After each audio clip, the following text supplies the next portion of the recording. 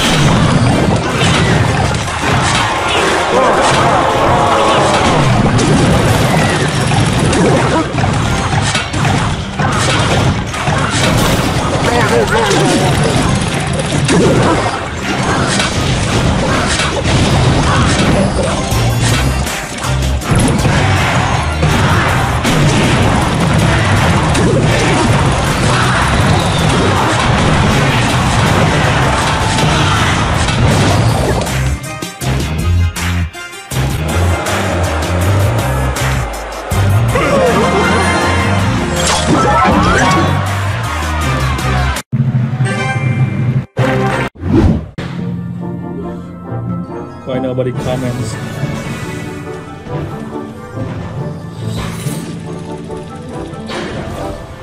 Hello anh em, nghe rõ không anh em không? Thôi, thôi, anh em đi ăn uh, đi uống bia hết rồi. Hello anh em, anh em, hello, hello anh em, anh em hello.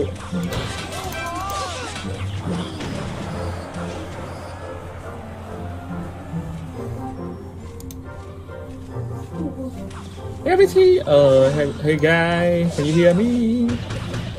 Come on since nobody comments. I'm alone here.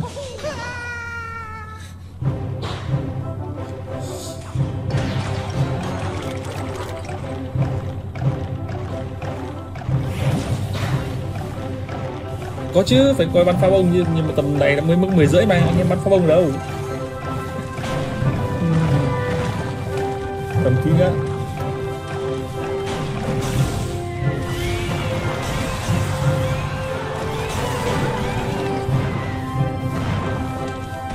Ở xung quanh nhà mình cũng có nhiều bắn người bắn pháo hoa mà. Họ có thể là dùng mua bao pháo hoa của ờ, Việt Nam sản xuất này. Nhưng mà hầu hết là pháo hoa đấy thì nó không có tiếng mà chỉ có mọi có xịt xịt xịt, xịt cái xong rồi lên pắp pắp pắp là xong. Pháo hoa của bên Trung Quốc thì nó có tiếng hơi to hơn. Ra ngoài xem nó có. Nhưng mà ở chỗ chỗ chỗ, chỗ mình ở đây thì không có bắn gọi bắn to đâu chỉ có bắn là nhỏ lẻ thôi. Là bắn trộm. Bắn cổ pháo của Việt Nam và bắn cổ pháo Trung Quốc. Lậu mà không lậu. Chung là, lần nào thì cũng thức đến tầm hàng hơn 12 giờ 1 giờ đi ngủ.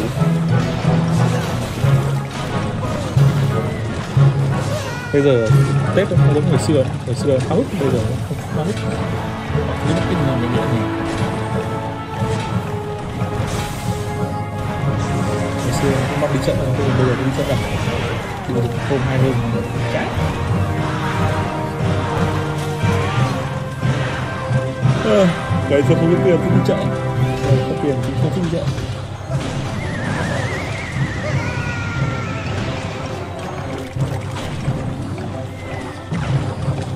Hôm nay mình thấy chợ cũng vắng. Mình ờ, ừ, đúng rồi lớn hơn khách không lý đâu tết năm nay chợ của anh em có thấy nó đông mình thấy nó có lượng lượng đỡ hơn năm ngoái. Nhu cầu mua sắm của mọi người giảm dần. Tiền cũng Okay. Subscribe. Subscribe.